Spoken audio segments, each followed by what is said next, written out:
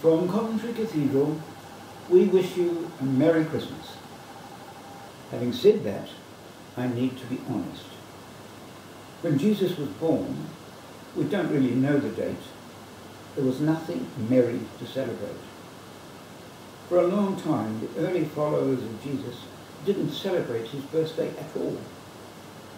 At some later time, they decided on midwinter, when at a dark time, celebrating had been a long custom. Christmas has survived, and not just for the religious. It's a time for families to get together and make merry. Everybody. I know some Jews who have a Christmas tree. Why shouldn't they? But it's not a happy time for everybody. It was not for Jesus.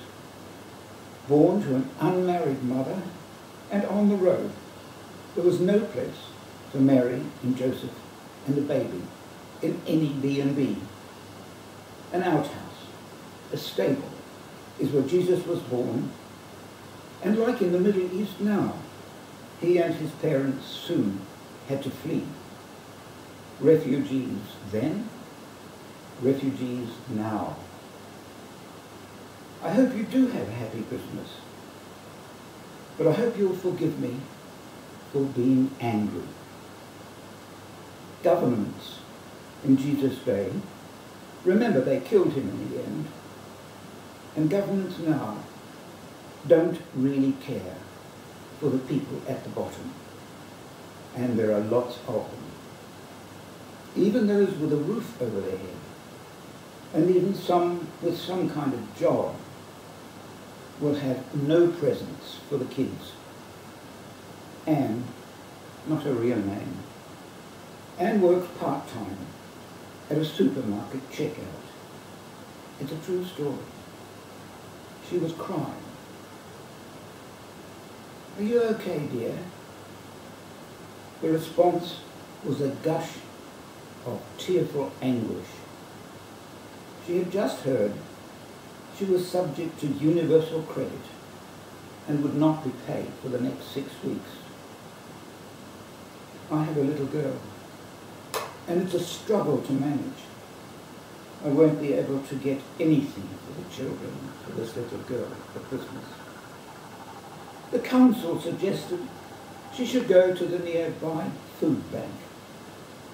Workers turned into beggars. Britain today, as unjust as was King Herod in Jesus' time. The welfare state was a good idea. A Christian idea, you might say. But Anne can't ask Jesus for a doll for the little girl. Jesus did say, if you have more than you need, then share it. Can do that.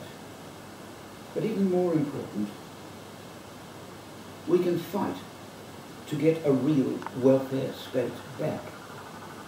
A state in which the country's wealth is shared out fairly. So let's get in on the fight for real social justice.